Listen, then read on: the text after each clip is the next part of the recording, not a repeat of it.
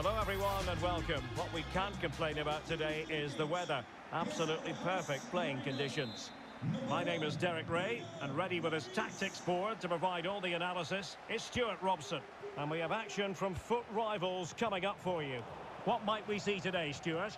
Well, I have to say, Derek, they look a really good team at the moment. They pass it well. They've got great. Can we not- not off to beat. kickoff? I'm looking forward to this one. as a How's that a pin? Oh, he's given it. Where? How's that a pen? Well, he's avoided a booking, but the complaints continue. And I can understand why.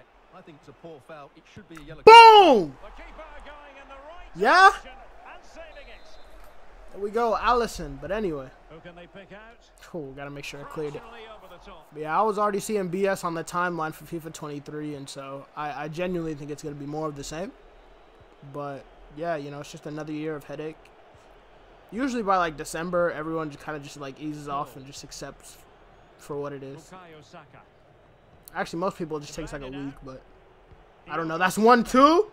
Ah, yeah, yeah. Goal in the early Karma, karma. That BS that I, a pen. That's not even a pen.